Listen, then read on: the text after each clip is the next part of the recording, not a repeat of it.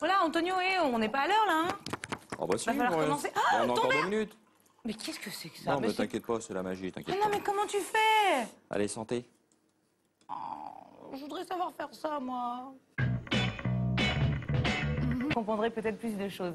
On a un magicien tous les vendredis, exceptionnel, qui